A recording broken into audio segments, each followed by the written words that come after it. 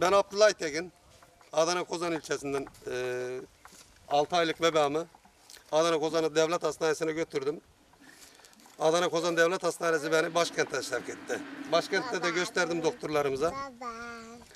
E, MR çekilmesini istediler. MR'a da sıra almaya gittim. En az 3 ay gün verdiler bana. Eğer ki ben e, yardım bekliyorum Cumhurbaşkanımdan, Adana Valimizden, Kozan Kaymakamımızdan.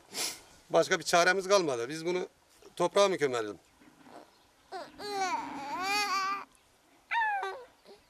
Benim durumum da bu.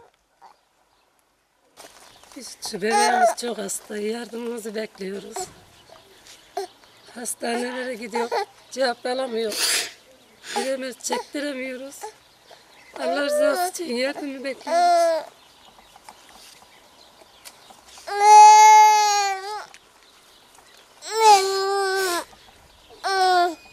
Kurban Bayramı'ndan sonra bu rahatsızlığı gördük. Bundan önce yoktu. Beş çocuğum var. En küçüğü. Baba açamam.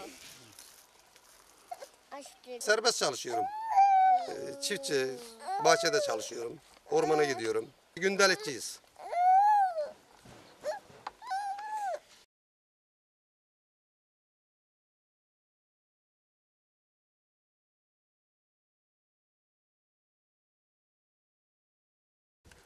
Bebeğimizi götürüyor hastaneye. Bir de yanıt alamıyoruz. Emerzi çekmek istiyoruz. Allah rızası için yardım eder misiniz? Ölme, öldürülmesini mi bekleyeceğiz?